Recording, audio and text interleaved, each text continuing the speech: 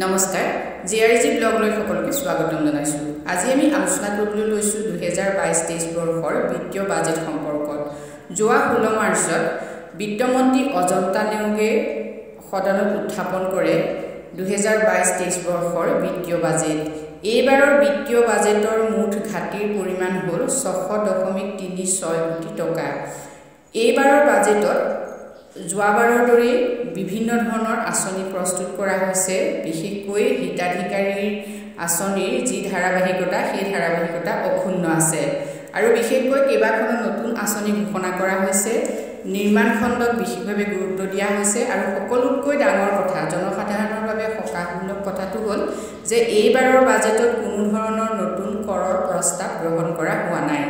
আৰু ইয়াৰ উপৰিও এইবাৰৰ বাজেটত বিশেষভাৱে গুৰুত্ব দিয়া হৈছে স্কুটি প্ৰদানৰ ক্ষেত্ৰত যিহেতু আমি আগৰ আগতে দেখিছোঁ যে ছাত্ৰীসকলক হায়াৰ ছেকেণ্ডেৰী পাছ কৰাৰ পাছত স্কুটি দিয়াৰ যি ব্যৱস্থা কৰা হৈছিলে এইবাৰ ছাত্ৰসকলকো স্কুটি দিয়াৰ কথা ঘোষণা কৰা হৈছে।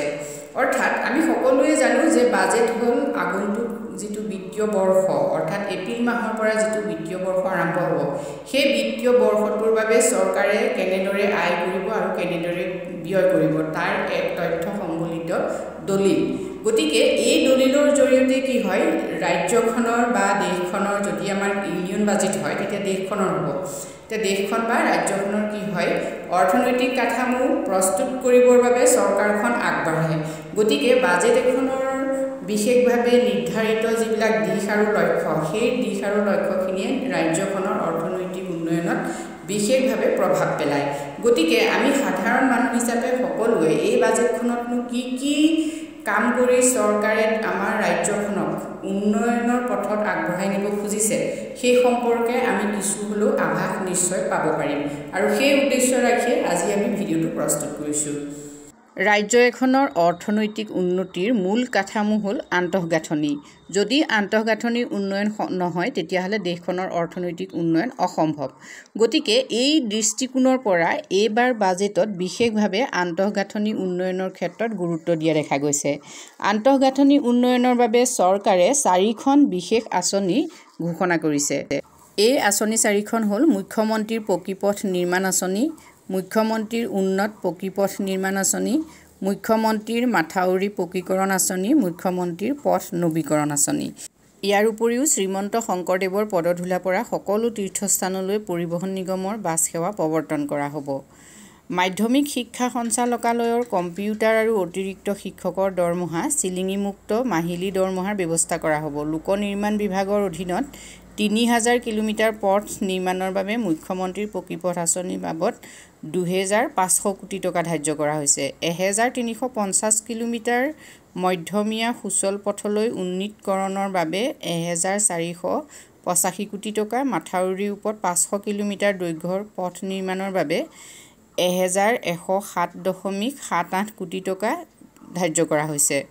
এতিয়া পি এম জি এছ ৱাইৰ অধীনত তিনিশ বিছ কোটি টকা ধাৰ্য কৰা হৈছে। চল্লিছখন বীজ নিগম পুনৰ উজ্জীৱিত কৰা হ'ব। কৰ্মচাৰীলৈ তিনি শতাংশ মৰুগীয়া বানচ ঘোষণা কৰা হৈছে। ইয়াৰ উপৰিও শিৱসাগৰ গোৱালপাৰা কৰিমগঞ্জত মেডিকেল কলেজ স্থাপনৰ প্ৰস্তাৱ লোৱা হৈছে। কেঁচা চাহপাতৰ ওপৰত থকা শুল্ক ৰেহাই দিব তিনি বছৰলৈ সম্প্ৰসাৰণ কৰিব। নতুন দিল্লীৰ দ্বাৰকাত নিৰ্মাণ হ'ব ডিমাচা ভৱন। জনতা ভৱনত স্থাপন হ'ব ছয়মহলীয়া ভৱন। কাজিৰঙাৰ এলিভেটেড কৰিডৰ সুৰংগসহ চাৰিলেনযুক্ত পঁয়ত্ৰিছ কিলোমিটাৰ পথৰ বাবে চাৰি হেজাৰ আঠশ ছাপন্ন কোটি টকা ধাৰ্য কৰা হৈছে। ঐতিহ্যস্থলী যোৰহাট কাৰাগাৰক হ'ব উত্তৰ পূব মুক্তিযোদ্ধা স্মাৰক উদ্যান। অসম চাহ নিগমৰ কৰ্মচাৰীৰ ভৱিষ্যত নিধিৰ আদায়ৰ বাবে এশ বিয়াল্লিছ দশমিক পঞ্চাছ কোটি টকা ধাৰ্য কৰা হৈছে।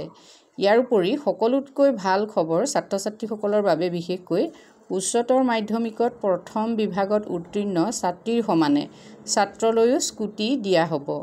বি টি আৰৰ দহখন মহাবিদ্যালয় হ'ব প্ৰাদেশিকৰণ মণিৰাম দেৱানৰ সমাধিক্ষেত্ৰ মেৰামতি আৰু তত্বাৱধান ল'ব। আপোন ঘৰ আৰু বিদ্যালক্ষীৰ বাবদ এশ ঊনত্ৰিছ দশমিক আঠ ন কোটি টকা ধাৰ্য কৰা হৈছে। লাচিত বৰফুকনৰ ওপৰত নিৰ্মাণ হ'ব তথ্য আহোঁ আমি অৰুণোদয় আঁচনিৰ কথা। যিহেতু আমি সকলোৱে জানো যে প্ৰথম অৱস্থাত অৰুণোদয় আঁচনিত আঠশ পঞ্চাছ টকা দিয়া হৈছিলে আৰু এতিয়া অৰুণোদয় আঁচনিৰ হিতাধিকাৰীসকলে এহেজাৰ টকাকৈ পায় আৰু এইবাৰ বাজেটত ধাৰ্য কৰা হৈছে এহেজাৰ দুশ পঞ্চাছ টকা।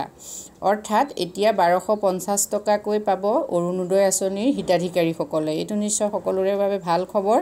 ইয়াৰ উপৰিও নিবনুৱাসকলৰ বাবে বিশেষ ভাল খবৰ এই বাজেটে কঢ়িয়াই আনিছে যিহেতু এক লাখ চাকৰি দিয়াটো দিয়াৰ প্ৰস্তাৱ ইতিমধ্যে চৰকাৰে গ্ৰহণ কৰি থৈছে। এই বাজেটতো সেই কথা উল্লেখ কৰা হৈছে আৰু বিভিন্ন পদৰ সংখ্যা বাজেটত উল্লেখ কৰা হৈছে।